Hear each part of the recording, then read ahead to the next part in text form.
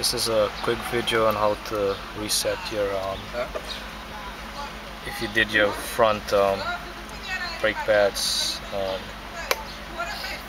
that has a sensor on it and you need to reset the the brake lining sensor um, warning light on your cluster on your BMW 2003 BMW 745 Li um, you gotta don't when you come in the vehicle um, put the key in don't start it or don't step on the brake pedal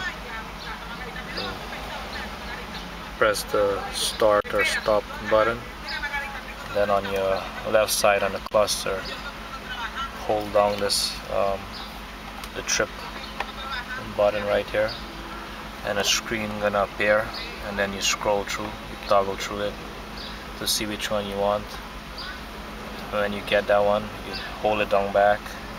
And then on the tach meter you're gonna a screen gonna appear with uh, which one you need to reset. If, if it's the front uh, brake pad sensor or the rear one and you select which one you want to reset and you press the trip button again. And then it's going to confirm uh, confirm it okay you have reset the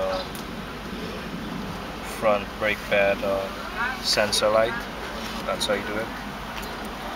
Also I have um, a, a printout here on, online. I found how to do it also. There's more than one um, step in how to do it. Thanks for watching